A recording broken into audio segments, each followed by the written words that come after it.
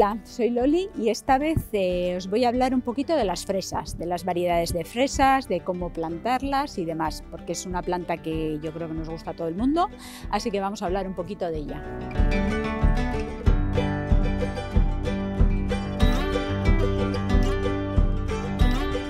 Bueno, pues como os decía, vamos a hablar un poquito de las fresas.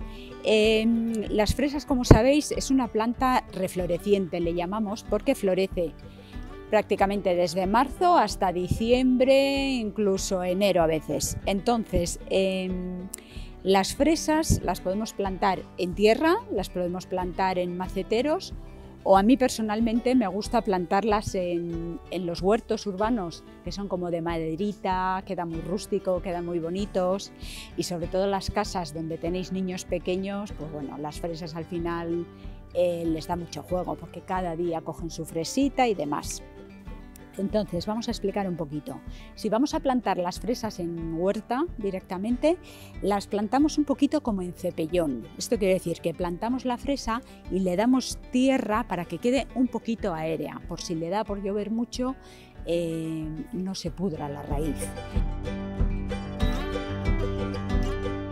Las fresas eh, es, bueno, el fruto, como bien os decía, su punto álgido es el verano y a partir de ahí, pues bueno, da un poquito cada año. Hay gente que en vez de reflorecientes también les llaman fresas de cuatro estaciones, porque florecen casi todo el año.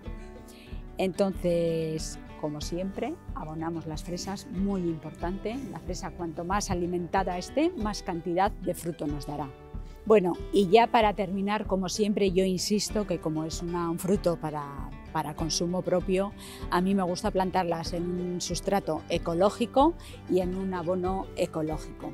Sin más, terminamos diciéndoos que podéis seguirnos en nuestras redes sociales, cualquier duda que tengáis, cualquier cosa que nos queráis preguntar y si no queréis hacerlo por nuestras redes sociales, pasáis por la tienda que aquí estaremos para atenderos como siempre.